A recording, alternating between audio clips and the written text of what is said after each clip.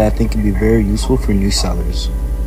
First, go to Google, type in maps, click enter, click on Google Maps, then type in the category that you want. I did personal care, product, distributor, or wholesaler. Click enter.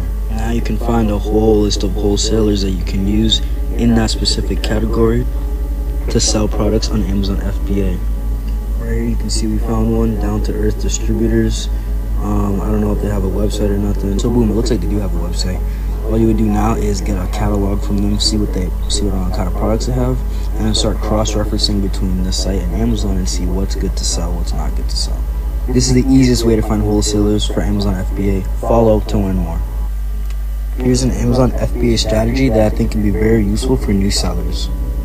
First, go to Google, type in maps, click enter, click on Google Maps, then type in the category that you want. I did personal care, product, distributor, or wholesaler. Click enter. Now you can find a whole list of wholesalers that you can use in that specific category to sell products on Amazon FBA.